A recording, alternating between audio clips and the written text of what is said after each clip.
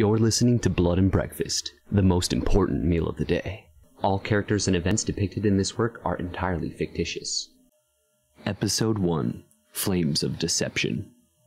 In the picturesque town of Crestwood, a veil of deceit concealed the dark secrets lurking beneath the surface. Amelia Sinclair, a renowned socialite, lived a seemingly idyllic life with her husband, William. But behind closed doors, their marriage was a suffocating prison of manipulation and emotional torment. One faithful evening, the tranquility of Crestwood was shattered by a devastating fire that engulfed the Sinclair residence. The flames licked at the night sky, casting an eerie glow upon the horrified onlookers. As the inferno raged, screams echoed through the neighborhood, a symphony of terror and anguish. Firefighters battled the merciless blaze, their valiant efforts uncovering a gruesome discovery amidst the smoldering ruins, a charred body, beyond recognition, lying motionless in the remains of what was once a beautiful home. The sight sent shockwaves of horror through the tight knit community, forever etching the trauma into their collective memory. Detective Michael Thompson, a seasoned investigator with a reputation for his tenacious pursuit of justice, was assigned to the case. With each step he took through the charred remains of the Sinclair residence, the weight of the tragedy pressed upon him, threatening to consume his spirit. The stench of burnt wood and sorrow lingered in the air, a constant reminder of the horror that had unfolded within those walls. As Detective Thompson delved deeper into the web of deceit surrounding the Sinclair family, he uncovered a tapestry of pain and manipulation.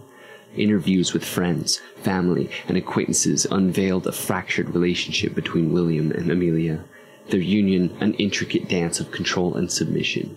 Behind their polished facade lay a tangled mess of shattered dreams and broken spirits. A tip led the detectives to Nathan Anderson, whose obsession with her had festered like a cancer in his soul. Nathan's seething resentment towards William and his desperate desire to possess Amelia cast a dark shadow of suspicion over him. Detective Thompson delved into Nathan's troubled past, uncovering a history of violence and twisted infatuation that sent shivers down his spine. Through the ashes and rubble, the detective discovered a shattered wine glass, its delicate fragments tainted by the residue of a lethal poison. The realization sent a chill through his veins, a chilling reminder that the horrors of this crime extended beyond the infernos that consumed their lives. Witness testimony shattered the illusions of Amelia's innocence, revealing inconsistencies in her alibi that tore the fabrics of truth.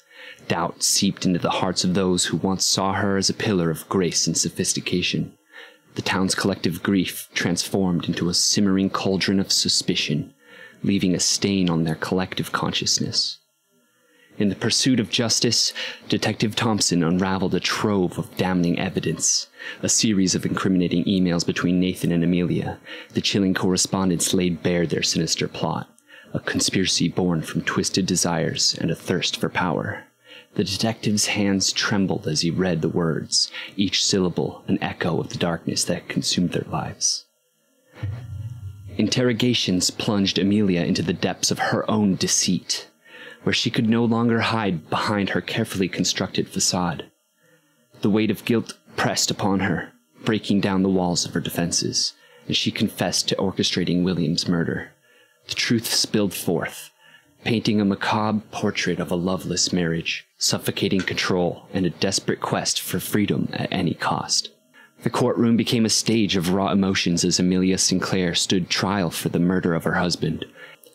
The evidence presented painted a vivid tapestry of a woman consumed by deceit and driven to commit the ultimate betrayal.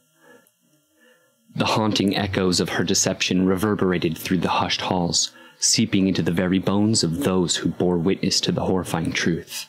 Crestwood, forever marked by the echoes of deceit, carried the scars of this tragedy long after the courtroom drama ended. The survivors, traumatized and broken, sought solace in the flickering light of hope. Detective Thompson, haunted by the intricate web of lies he had unraveled, carried the weight of their trauma upon his shoulder, a burden that threatened to drown him in a sea of darkness. As the town slowly healed its wounds, its collective consciousness forever changed, the echoes of deception became a haunting reminder of the fragility of trust and the depths to which human nature could descend. Crestwood emerged from the shadows, its spirit bruised but unbroken, clenching on to the flickering hope of a brighter future, determined to rise above the horrors that had once consumed their lives.